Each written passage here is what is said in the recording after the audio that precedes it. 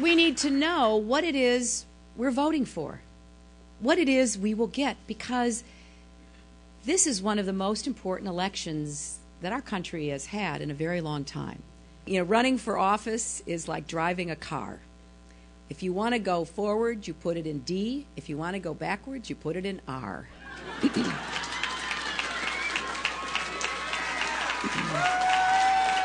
Americans can overcome any obstacle, including wrong headed government policies.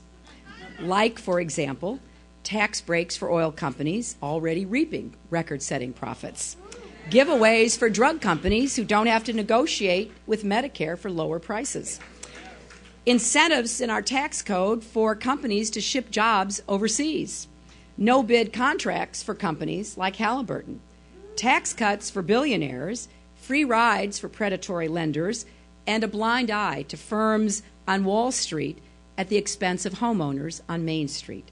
And who pays the price for these wrong headed policies? Well, hardworking middle class Americans pay the price. The oil companies, predatory student loan companies, the insurance companies, and the drug companies have had seven years of a president who stands up for them. I will be a president who stands up for all of you.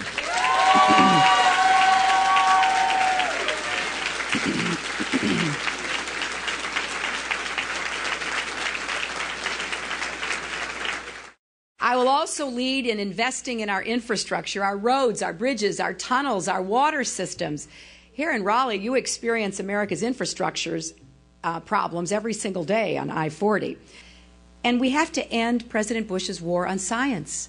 It has been unbelievably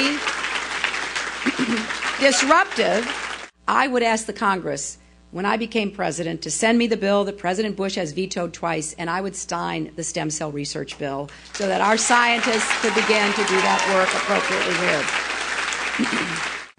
and I think it's time that we once again had a president who stands up for what really makes America great because, with all due respect, it is not rich people. It is the American middle class and hardworking families who make our country what it is today.